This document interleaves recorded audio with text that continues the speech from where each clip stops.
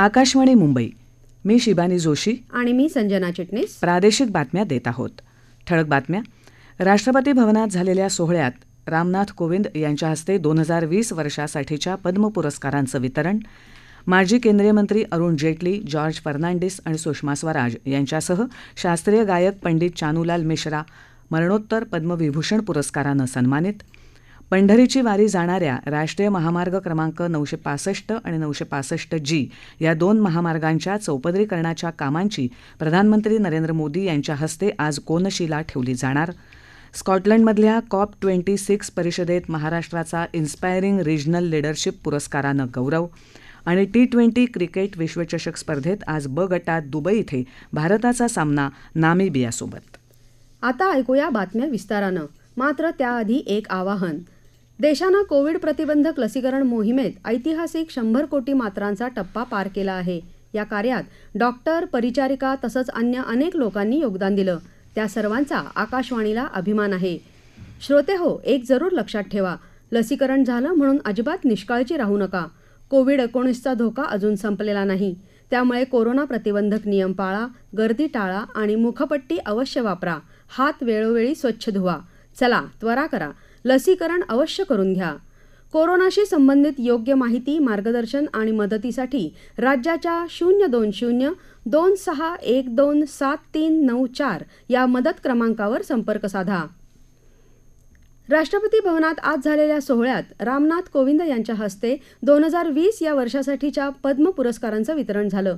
यावेळी माजी केंद्रीय मंत्री अरुण जेटली जॉर्ज फर्नांडिस आणि सुषमा स्वराज यांच्यासह शास्त्रीय गायक पंडित चानूलाल मिश्रा यांना मरणोत्तर पद्मविभूषण पुरस्कारानं सन्मानित केलं गेलं. अरुण जेटली यांची पत्नी संगीता जेटली तसंच सुषमा स्वराज यांची मुलगी बांसुरी स्वराज यांनी राष्ट्रपतींच्या हस्ते पुरस्कार स्वीकारला. दोन हजार वीस सालच्या प्रजासत्ताक दिनाच्या दिवशी केंद्र सरकारनं एकशे एक्केचाळीस जणांना पद्म पुरस्कार घोषित केले होते. यात सात पद्मविभूषण सोळा पद्मभूषण तर एकशे अठरा पद्मश्री पुरस्कार विजेत्यांचा समावेश आहे. आज झालेल्या पुरस्कार सोहळ्यात बॅडमिंटनपटू पी व्ही सिंधू हिला पद्मभूषण पुरस्कार तर भारताच्या महिला हॉकी संघाची कर्णधार राणी रामपाल गायक अदनान सामी एअर मार्शल पद्म बंडोपाध्याय अभिनेत्री कंगना रणौत यांना पद्मश्री पुरस्कारानं सन्मानित केलं गेलं. याशिवाय पद्म पुरस्कार मिळालेल्यांमध्ये महाराष्ट्रातून उद्योगपती आनंद महिंद्रा यांना पद्मभूषण तर भारतीय वैद्यकीय संशोधन परिषदेचे निवृत्त शास्त्रज्ञ डॉक्टर रमण गंगाखेडकर सामाजिक कार्यकर्ते पोपटराव पवार बीजमाता राहीबाई पोपेरे मुस्लिम सत्यशोधक मंडळाचे सहसंस्थापक सय्यद मेहबूब शाह कादरी देशात पहिली श्रवणविषयक रोपण शस्त्रक्रिया करणाऱ्या डॉक्टर सँड्रा देसा डिसुझा गायक सुरेश वाडकर क्रिकेटपटू झहीर खान चित्रपट दिग्दर्शक आणि निर्माता करण जोहर मालिका निर्माती एकता कपूर आणि ज्येष्ठ अभिनेत्री सरिता जोशी यांना पद्मश्री पुरस्कारानं सन्मानित केलं गेलं. राष्ट्रपती भवनात उद्या होणाऱ्या सोहळ्यात दोन हजार एकवीस या वर्षासाठीच्या पद्म पुरस्कारांचं वितरण होणार आहे. पंढरपूरला जाणाऱ्या यात्रेकरूंचा प्रवास सुकर व्हावा. यासाठी राष्ट्रीय महामार्ग क्रमांक नऊशे पासष्ट आणि महामार्ग क्रमांक नऊशे पासष्ट जीवर एकूण आठ ठिकाणी रस्त्यांचं चौपदरीकरण केलं जाणार आहे. प्रधानमंत्री नरेंद्र मोदी यांच्या हस्ते आज दुपारी दूरदृश्य प्रणालीच्या माध्यमातून या कामाची कोनशिला ठेवली जाणार आहे. दिवेघाट ते मोहोळ या दोनशे एकवीस किलोमीटरच्या तसंच पाटस ते तोंडाळे या एकशे तीस किलोमीटरच्या टप्प्याचा यात समावेश आहे.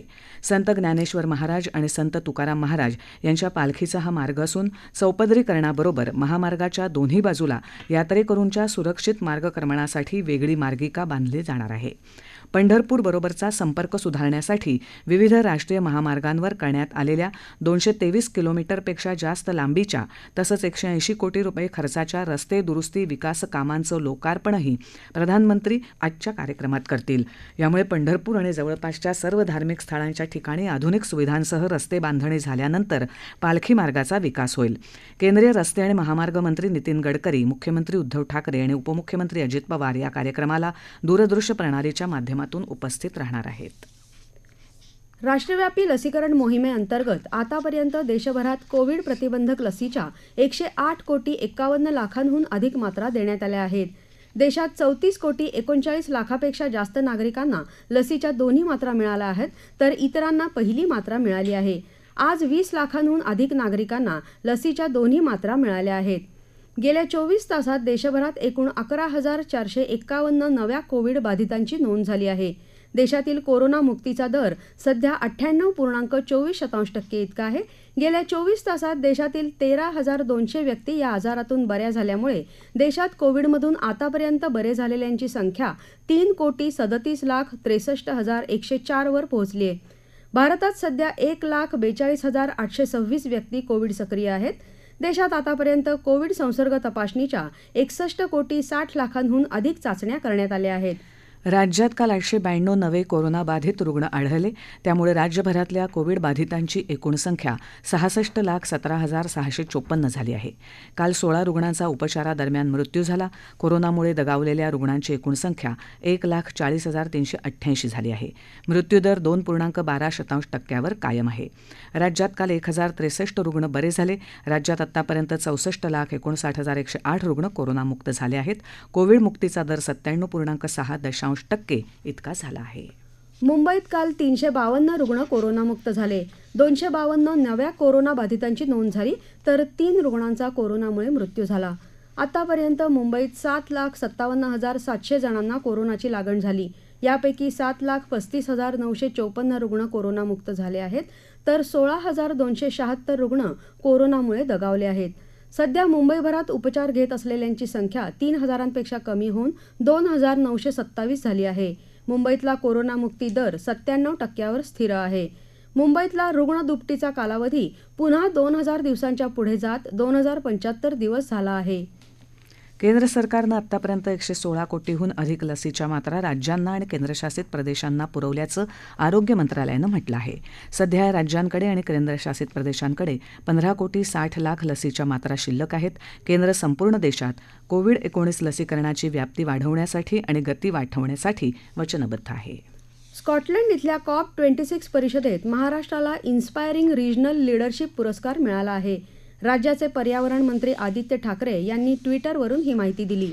राज्यानं हवामानविषयक भागीदारी आणि हवामानविषयक समस्यांवर केलेल्या अभिनव उपाययोजनांची या परिषदेत विशेष दखल घेतली गेली.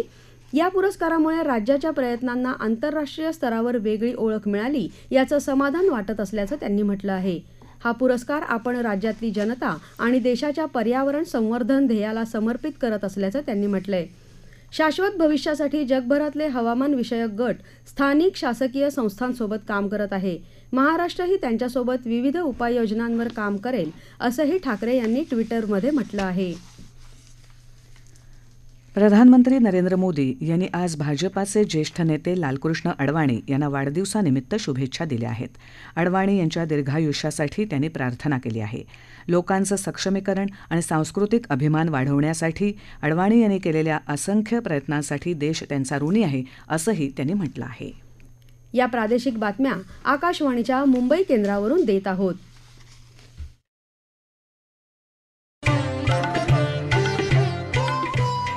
कोविड 19 से बचाव और सुरक्षित रहने के तीन उपाय। मास्क लगाएँ, दो गज दूरी है ज़रूरी। सुरक्षित दूरी रखें, हाथ और मुँह साफ़ रखें।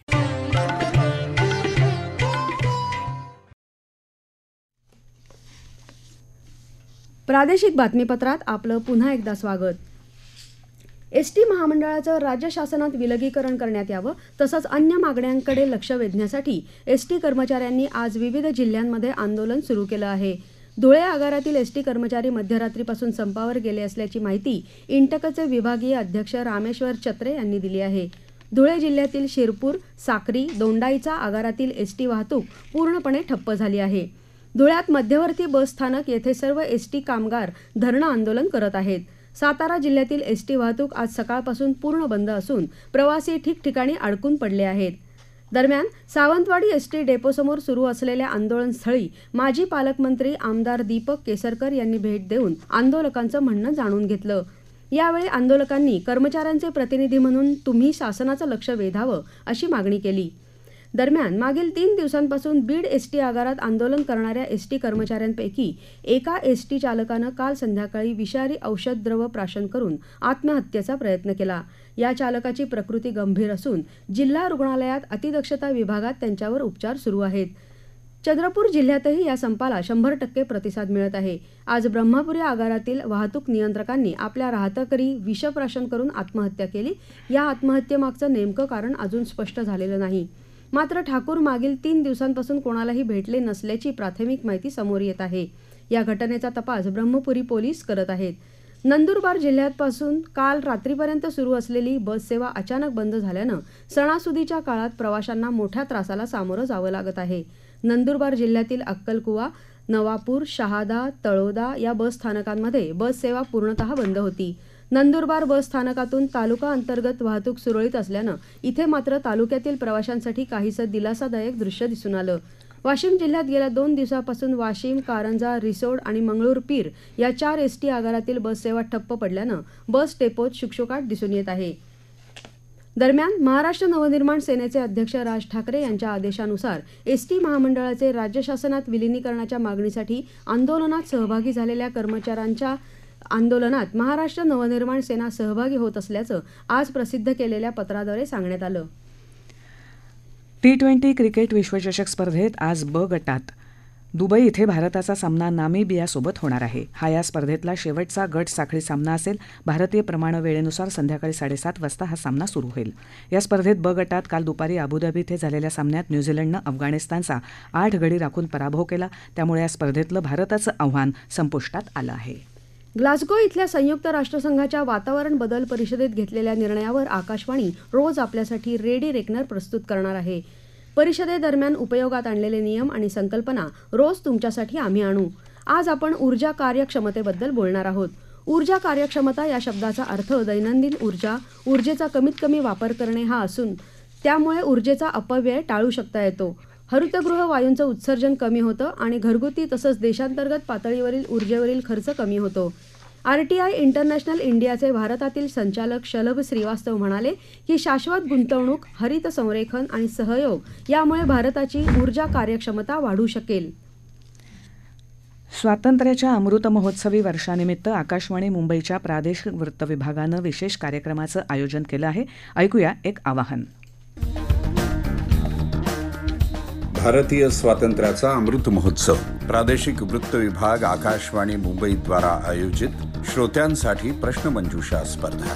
प्रत्येक सोमवारी संध्याकाळच्या बातमीपत्रात तसंच फेसबुक ट्विटरवर एक प्रश्न विचारला जाईल. बातमीपत्रातल्या प्रश्नाचं उत्तर द्या ईमेलद्वारा ईमेल आय डी आहे Q U I Z seven five N E W S at the rate Gmail dot com पुन्हा ऐका Q U I Z seven five N E W S at the rate Gmail dot com Facebook आणि ट्विटरवर कॉमेंटमध्येच उत्तर लिहा. विजेत्या स्पर्धकाला मिळेल प्रमाणपत्र आणि प्रसिद्धी.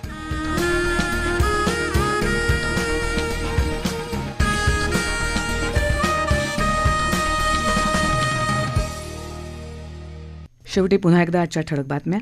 राष्ट्रपती भवनात झालेल्या सोहळ्यात राष्ट्रपती रामनाथ कोविंद यांच्या हस्ते दोन हजार वीस वर्षासाठीच्या पद्म पुरस्कारांचं वितरण माजी केंद्रीय मंत्री अरुण जेटली जॉर्ज फर्नांडिस आणि सुषमा स्वराज यांच्यासह शास्त्रीय गायक पंडित चानूलाल मिश्रा मरणोत्तर पद्मविभूषण पुरस्कारानं सन्मानित पंढरीची वारी जाणाऱ्या राष्ट्रीय महामार्ग क्रमांक नऊशे पासष्ट आणि नऊशे पासष्ट जी या दोन महामार्गांच्या चौपदरीकरणाच्या कामांची प्रधानमंत्री नरेंद्र मोदी यांच्या हस्ते आज कोनशिला ठेवली जाणार. आणि स्कॉटलंडमधल्या कॉप ट्वेंटी सिक्स परिषदेत महाराष्ट्राचा इन्स्पायरिंग रिजनल लिडरशिप पुरस्कारानं गौरव आणि टी ट्वेंटी क्रिकेट विश्वचषक स्पर्धेत आज ब गटात दुबई इथे भारताचा सामना नामिबियासोबत. याबरोबरच आकाशवाणी मुंबई केंद्रावरचं प्रादेशिक बातमीपत्र संपलं. नमस्कार. नमस्कार.